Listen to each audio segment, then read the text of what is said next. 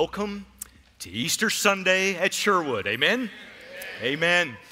Over the past two and a half months, we have studied the story of the Passion Week. It's that final week that leads into the resurrection of Jesus Christ.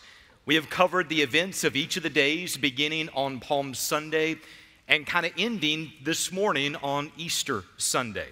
And I've consistently shared that the events of the Passion Week are those that are inextricably linked to God's big redemptive story that began all the way back in the Garden of Eden. If you have been here with us through the entire series, then today's message is going to be the end of a 10 week series, a 10 week journey of spiritual discovery. I've prayed that this would be a week that people would have a renewed appreciation for what happened in the Passion Week and would also give people a greater understanding of God's big plan. If you have not been with us through this entire series, then today's message is going to be a condensed version of the entire series with a special emphasis on the resurrection itself. And who knows, might even provide a little of extra incentive for people to go back and to rewatch the messages that they have missed. So we got a lot that we're going to cover today. We got a lot that we get a chance to celebrate today. And we're going to start with a word of prayer. Then I'm going to move forward and reset the storyline. And then we are going to finish the week that changed the world. Let's pray. Heavenly Father, in the name of Jesus, we ask today that you would allow our minds to be sharp. Lord, would you remove any distraction that would keep us from hearing the clear redemptive story that you have clearly laid out through your word? God, we need your spirit to guide us today. In Jesus' name, amen. So, as best you can, I want you to try to imagine what life would have been like 2,000 years ago in Israel. According to the Jewish calendar, today would be Sunday, the 16th day of Nisan. The previous week was a week that was filled with celebration as well as major events. The celebrations included Passover as well as the Feast of Unleavened Bread. Those celebrations were rated Israel's stepping out of their exodus of Egypt and out of bondage, and both of those pointed towards God's bigger redemptive plan. Those celebrations combined with God's timing, combined with fulfilled prophecy, combined with key events that happened during this week, all of those pieces came together to help tell the big story of God. The week began as Jesus arrived triumphantly into Jerusalem on Monday. He revealed himself as the ultimate prophet, priest, and king. On Monday, as each of the fathers selected their Passover lamb for their family, our Heavenly Father selected his Passover lamb for his family, that lamb being none other than Jesus himself. The lamb, once it was selected, it came into the the home for four days of inspection and connection. In a very similar way, Jesus was selected by the Father, and the next four days were days that spoke of inspection and connection. We saw how throughout the course of the week, Jesus offended three different groups of people. He offended the Roman government, he offended the religious leaders, he also offended the people of Israel. It's the reason for the fact that he enters into the shouts of people saying, Hosanna, as he comes into Jerusalem. And then at the very end of the week, we find that they are crying, Crucify him at his trials on Friday. We understand that none of these events took Jesus by surprise. And for that matter, none of these events should have taken his disciples by surprise. We understand that because for three and a half years, he prepared them for what they were about to face. In fact, in this week itself, he took additional time to prepare them for the difficult moments that were going to happen at the end of the week. He prepared them by telling them of things that were going to happen before they actually happened. He preemptively told them about a traitor who was in their midst. He told them about Peter's denial. He told them about his death, about his arrest, about his beatings, about his death. He told them about his departure and about the Holy Spirit's arrival. He told them about new commandments they needed to know, as well as truths that they needed to remember. And in John chapter 14, verse 29, it tells us why he told them those things. Jesus said to his disciples, I have told you before it happens, so that when it happens, you may believe. The purpose was for belief, it was for greater trust. It was so that they would have confidence in who Jesus is and what Jesus said.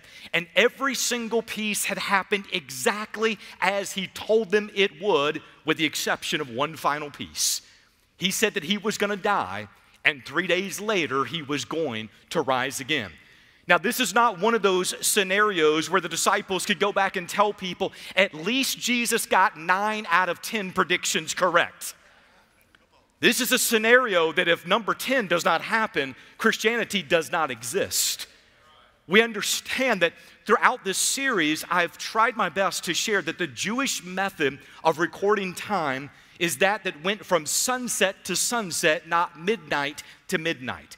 Any amount of time that happened during that day was considered to be a full day. It could have been five minutes, it could have been five hours, it could have been 15 hours. Any amount of time between the sunsets was considered to be a full day.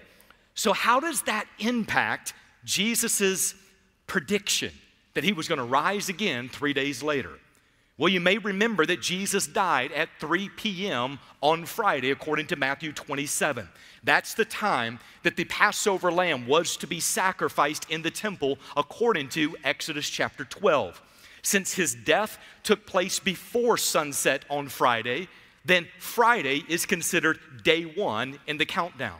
We understand, based on scripture, that his body was in the tomb all of Saturday we understand his body was in the tomb, but his spirit was very much alive. Saturday is day number two of the countdown. Now, according to that Jewish method of recording time, Sunday began right after sunset on Saturday evening. So, after sunset would now start day number three. The timeline is now set. The Passover meal, as well as the Feast of Unleavened Bread, are essential components for what's about to happen. Everything that we have studied for two and a half months, every part of God's big redemptive story, it is all pointing back to this one event. If this one event does not happen, you and I are not in this room today. Christianity does not exist if this one event does not happen. What event are we talking about? The event is Jesus' bodily resurrection from the dead. Easter Sunday, also referred to as Resurrection Sunday, it celebrates Jesus rising from the dead. And that one event is so important. Listen to the way the Apostle Paul described it to believers in Corinth. He says, If Christ has not been raised, your faith is worthless. You are still in your sins. I need you to hear this. If the resurrection of Jesus is not a reality, then a reconciled relationship with God is not a possibility. This one event defines our spiritual journey. This one event changed the course of history. I want us to walk through the pieces of what's happening in this particular day because there is one major piece that happens right after sunset that is so crucial for everybody to hear. Right after sunset, Sabbath would be over. Sunday had just begun. The temple priests began a new day by cutting what was known as a sheaf. A sheaf was a bundled stack of, of grain of some kind. For the Jewish celebration that they were about to celebrate, called the Day of First Fruits. The Day of First Fruits is actually the very last day of the Feast of Unleavened Bread. Every year, just before the spring harvest, God required what was called a wave sheaf offering. This ritual dates back to God giving it to Moses back in Leviticus chapter 23. Listen to what it says in verses 10 and 11 of Leviticus 23.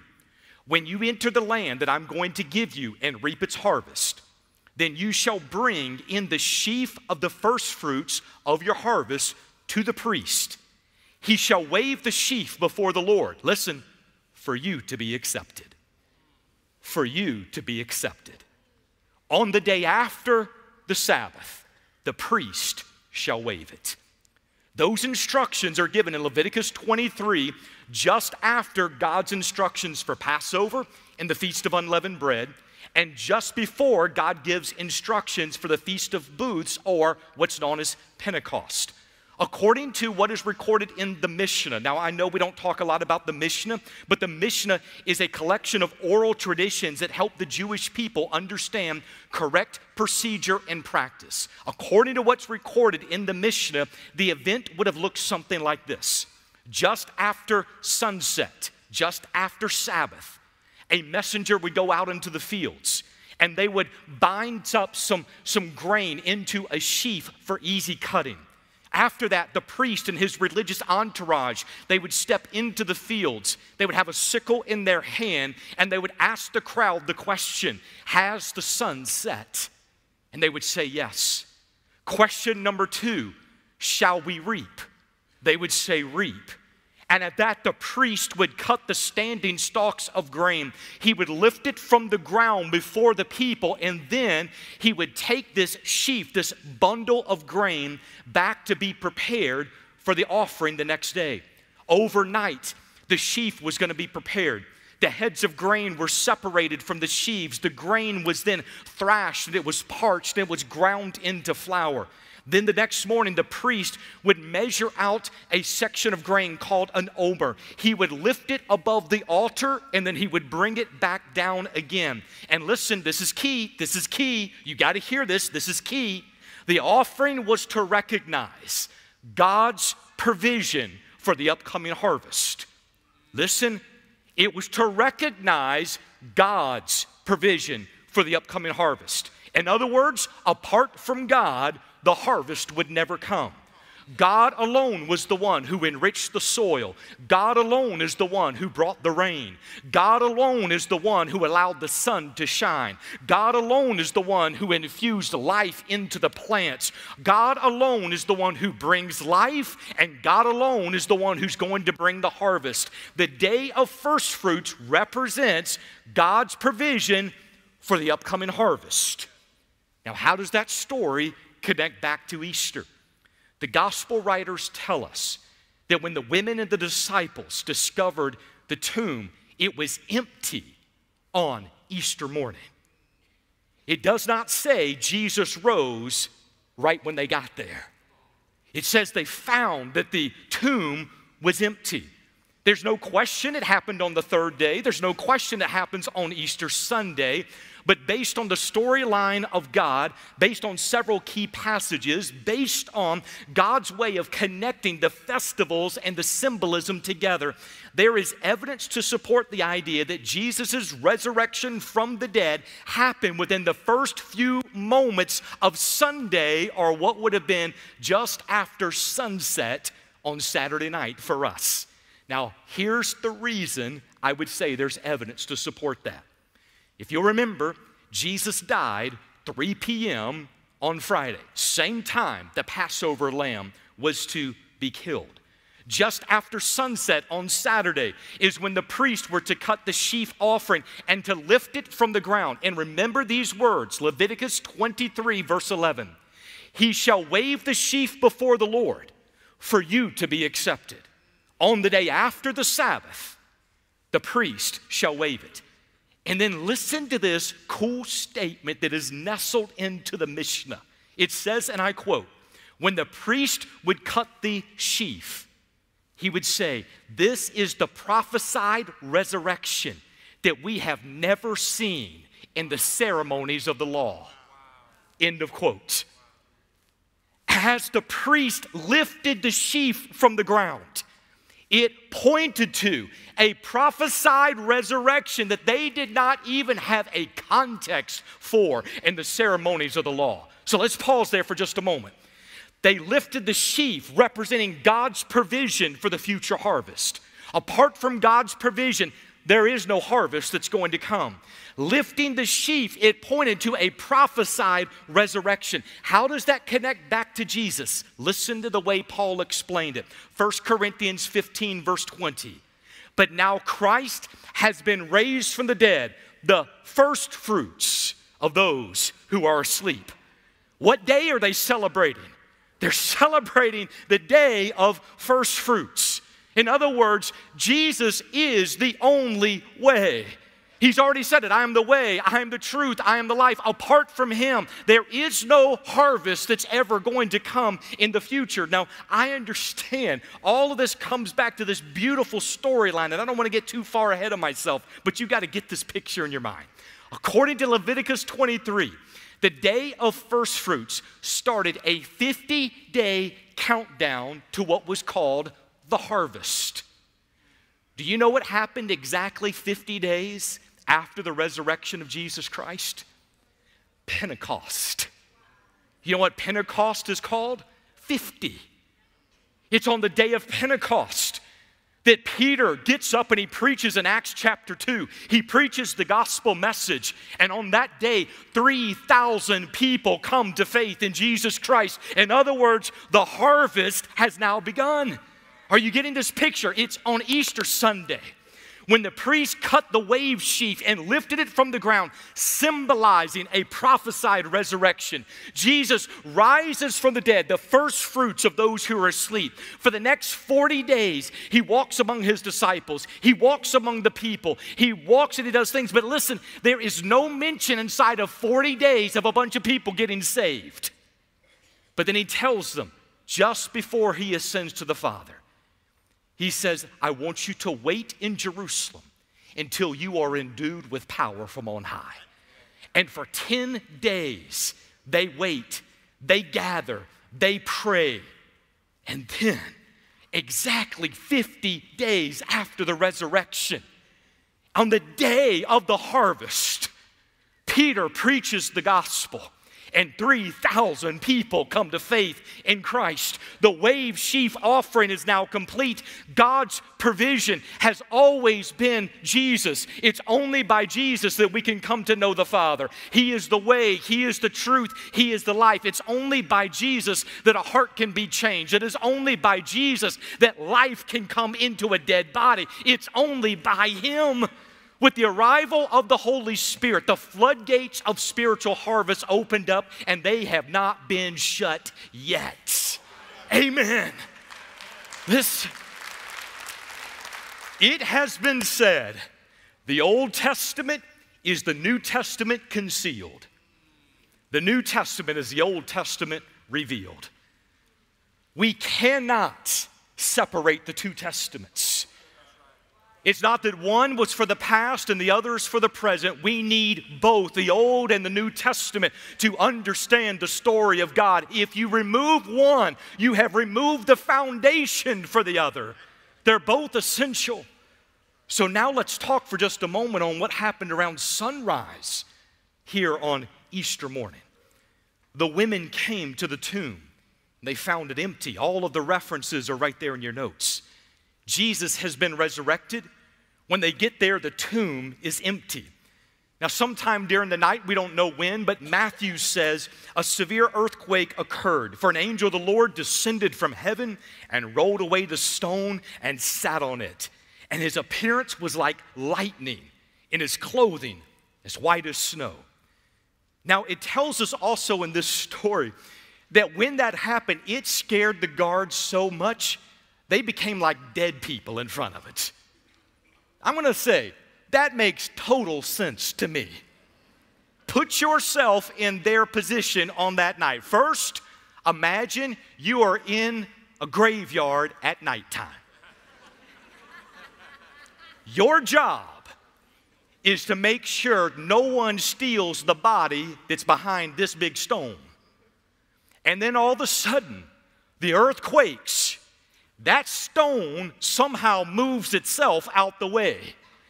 And there is this figure that is ghostly white, bright light, sitting on top of the stone, sitting on top of the very thing that was standing between you and the dead.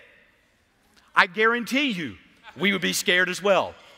If I were in that story, the next verse would say, and there was a preacher who went running and screaming through the graveyard just after sunrise, when Mary Magdalene and Mary and a couple of the other women, they showed up at the tomb. They brought spices to anoint the body of Jesus, and they were wondering who's going to roll away the stone. And they, they get to the tomb and they find out that the stone is already removed. They think someone has stolen the body of Jesus. So it tells us that Mary runs back and she tells Peter and John. So Peter and John, they both get up and they run towards the tomb. Apparently, John was a faster runner because he got there before Peter. He gets to the tomb, he looks in, he's like, Yep, the body is gone. He doesn't walk in. He saw the linens, they were on the ground, but he doesn't go in. It says a moment later is when Peter showed up. Peter, remember Peter, he always goes the extra mile, he just goes right on into the tomb. He also sees those same linens that they are on the ground, but it also tells us he saw the face cloth of Jesus rolled up and put off by itself. Now we understand based on the text, the text actually tells us Peter and John believed. Well, what did they believe? They believed the body was gone. But we know they didn't believe yet that Jesus had been raised from the dead. We understand that because of where the story goes after this. Now, this is where the story just gets really strange to me. It says Peter and John went home.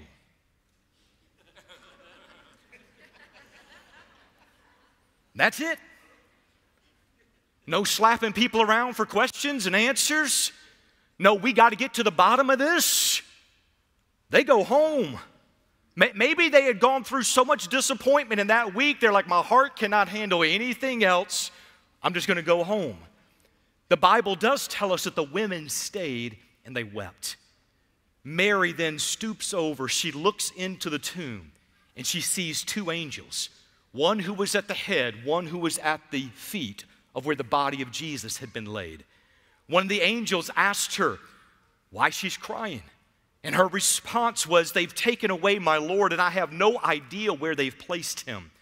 The angel's response is, Why are you seeking the living one among the dead. He reminds her of what Jesus said about being crucified and rising again. He told her that he is risen, and he also says that you are to go and tell the disciples and Peter he is going ahead of you into Galilee.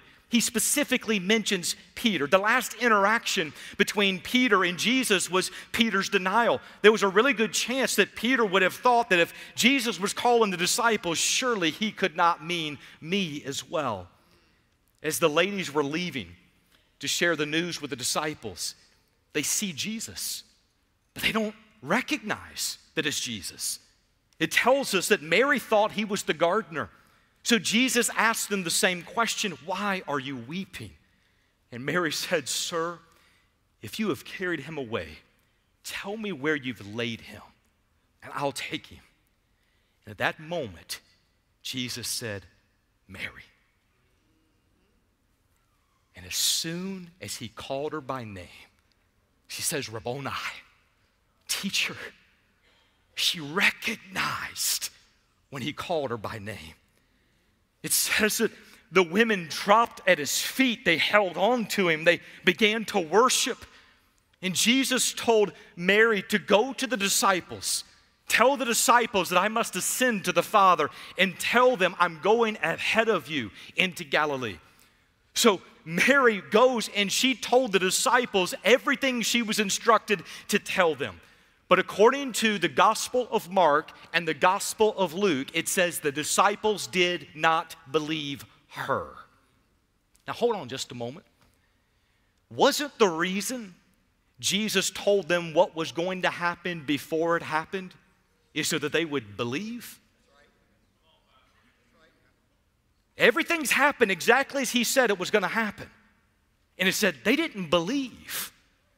Now, all of this is taking place just after sunrise on Sunday morning. There is not another major event in the storyline until you get over to just before sunset on Sunday.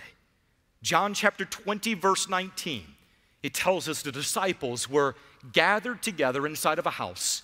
Doors were closed, windows were closed. They were gathered together out of fear that those who put Jesus to death would also want to put them to death. They were afraid. It's just before dark. And all of a sudden, out of the middle of nowhere, Jesus appeared in their midst. And his first four words were, Peace be with you. Now, if you've ever been standing in one location and all of a sudden you turn and somebody's standing right next to you, and all of a sudden you get shocked, you know a little bit about what they were experiencing. But let's add in a couple more dimensions. Let's say it's almost dark. Let's say you're already afraid somebody's trying to kill you. And let's say the person who appeared next to you is the one you saw die a couple of days before. There's a reason the four, first four words were peace be with you. They needed peace. The group is stunned at this moment. They're overwhelmed. Jesus is alive. He showed them his hands, he showed them his side. Then, listen, he rebuked them for not believing. He rebuked them for not believing what Mary had shared with them, and then he rebukes them for the hardness of their heart. At this point, I don't think they were caring a single bit about the rebuke. They were just so excited that he was there. They are excited, they're shouting, they're celebrating. And then listen, and just like that, he's gone. Doesn't tell us how long he was there. It, we just know he was there and then he wasn't. But Thomas was not with them when that occurred, he was somewhere else. So then Thomas comes and joins the group. And the group's like, Thomas, you're never going to believe it. Jesus is alive. We saw him. He was right here. And you know, Thomas has, he's got some, he's got some doubting issues. So Thomas very clearly said, unless I see his hands, the imprint of the nails, and put my finger into the place of the nails, and put my hand into his side, listen, I'm not going to believe. Didn't say he couldn't, he said, I'm not going to. Listen, Jesus told them before it happened so that when it happened, they would believe. For eight days, Jesus does not reappear. We don't know what happened for eight days. There's nothing in the scriptures that tell us what he was doing for those eight days. Now, some of the disciples during that eight day period, they might have even been wondering did we really see him? Did we make that up in our mind?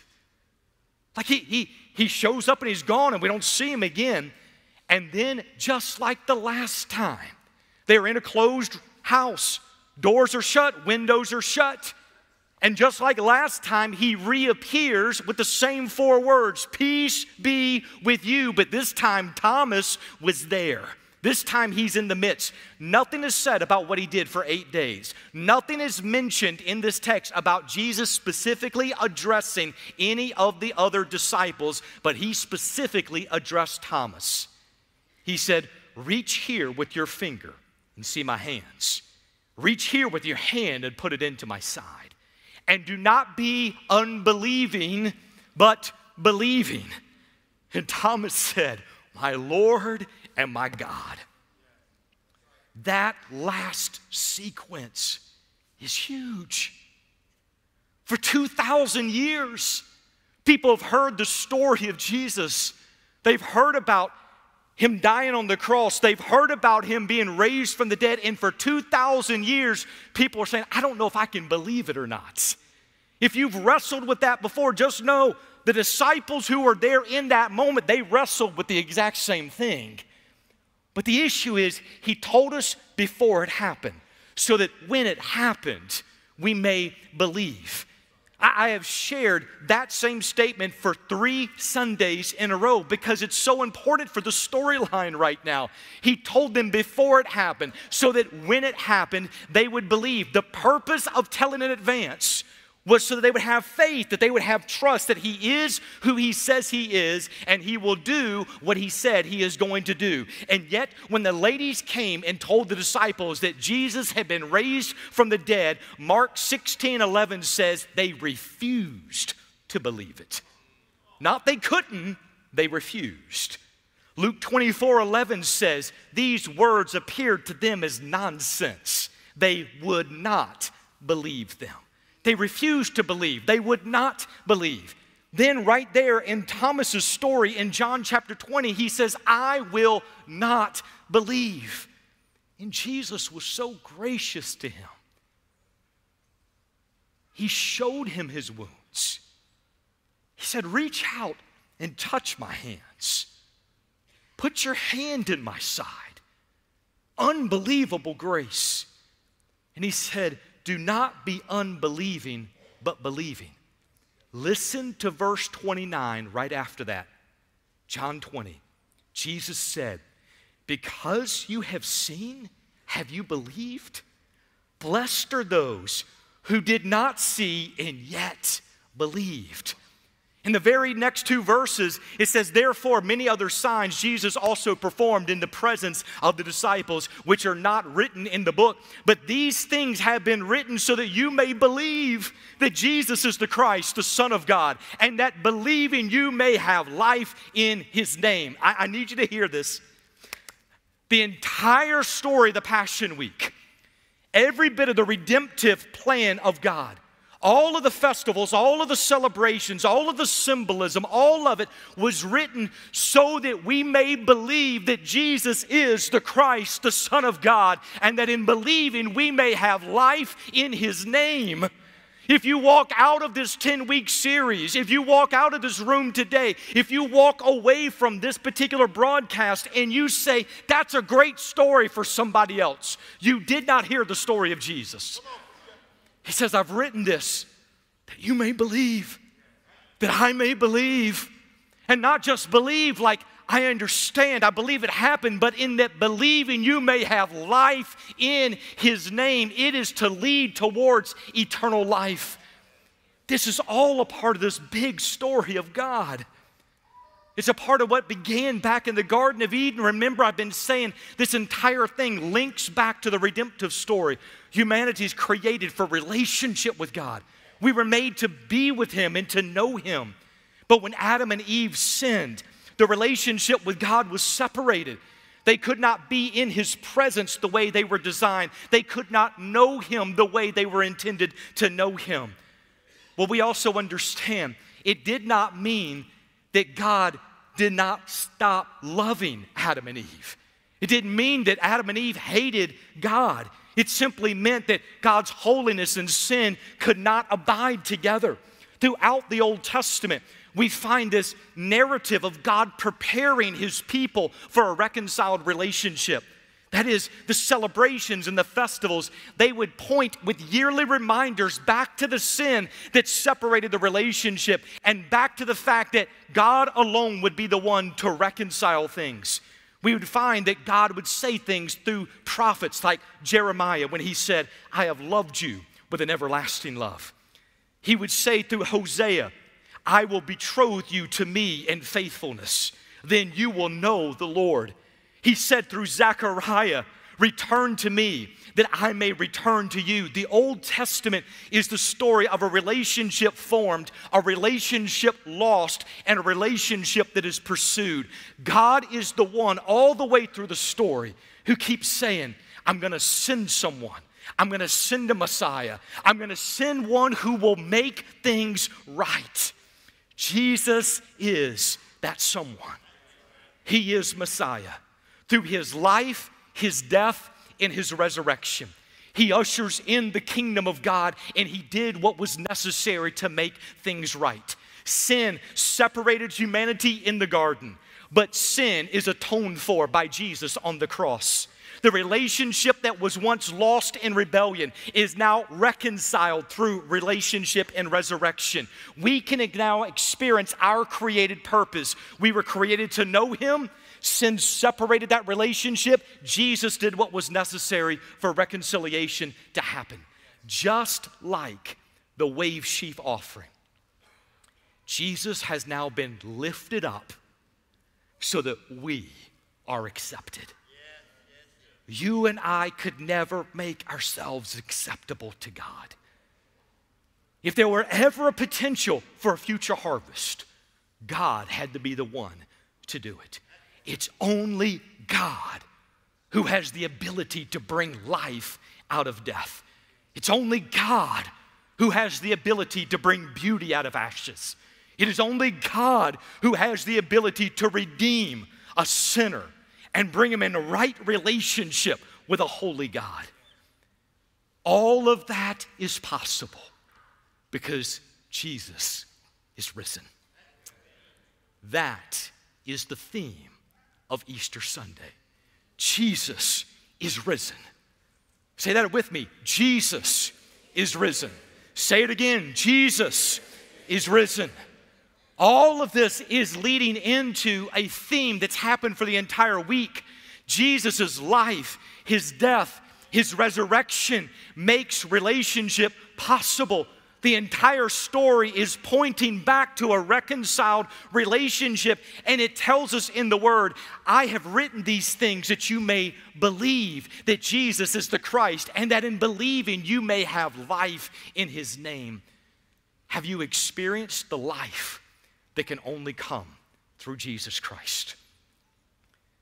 Are you still in a unbelieving stage? Or do you believe? If you were to close your eyes today in death, where would you spend eternity? But let me ask another point. If God leaves you here for 50 more years, will you ever experience your created purpose to know Him? We were made to know Him. And until that relationship is reconciled, we exist in the shadows of what could be instead of living in the substance of our created design. I go back to how we started the series.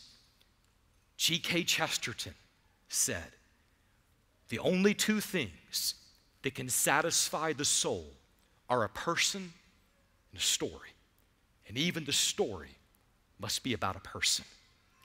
The ultimate person is Jesus. The ultimate story is the gospel.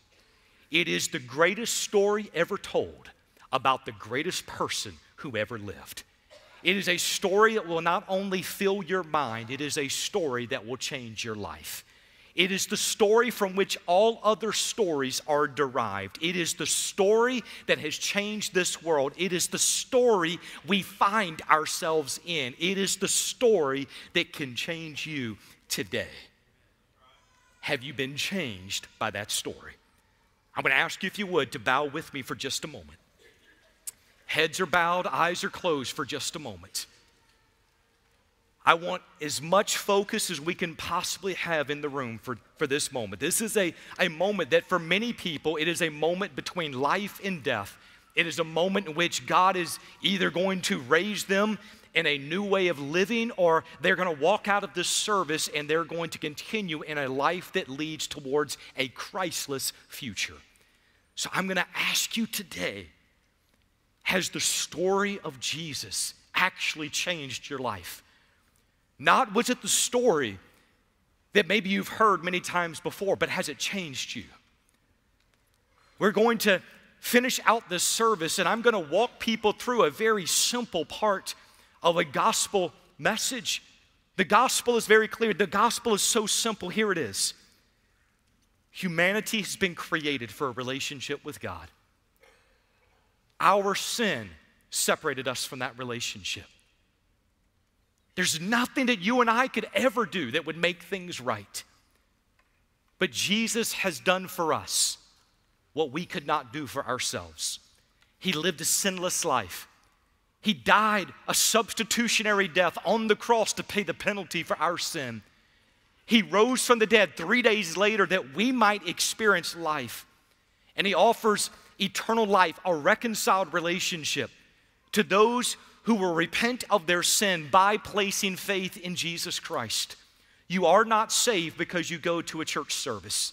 You are not saved because you are a morally good person. You are not saved because your name is on a church roll. You are not saved because you come from a Christian heritage.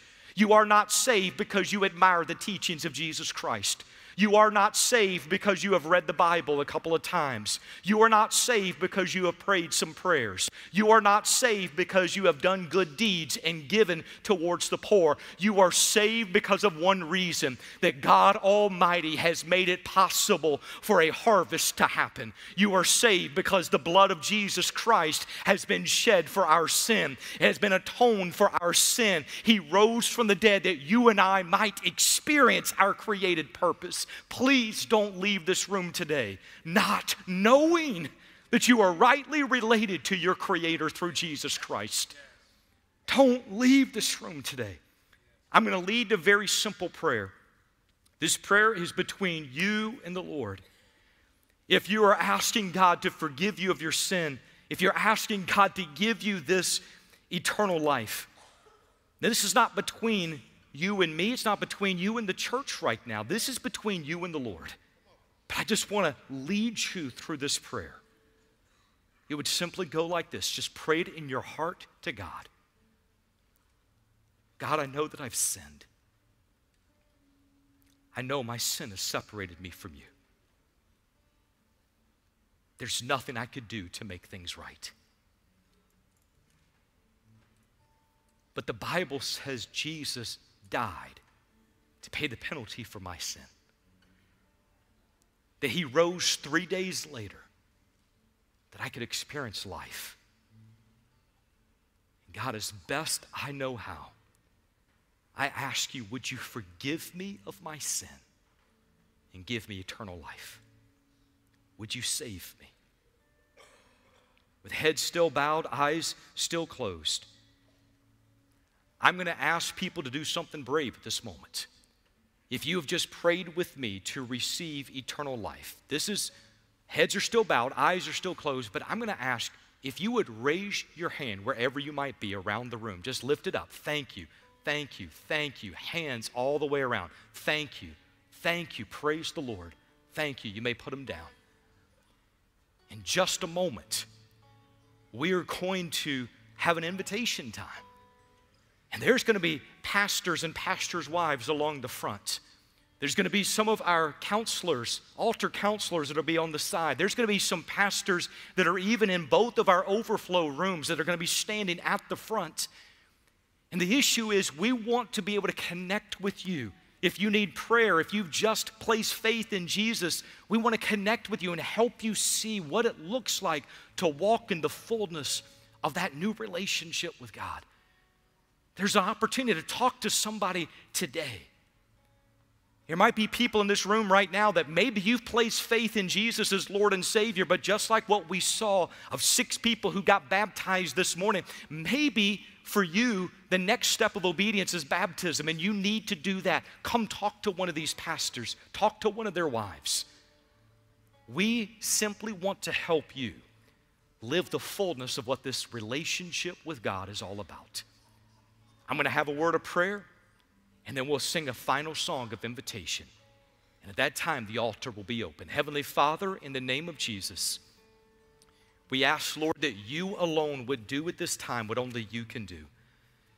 God, thank you for those. Thank you for dozens of hands that went up around this room. Thank you for those who have placed faith in you as Lord and Savior. Lord, may it not just be a moment, a decision, but Lord, may they walk in the fullness of what it means to be a disciple of Jesus Christ. We love you and we thank you. In Jesus' name, amen. If you would stand at this time, there's going to be a final song. The altar is open. Would you respond as the Spirit of God leads you?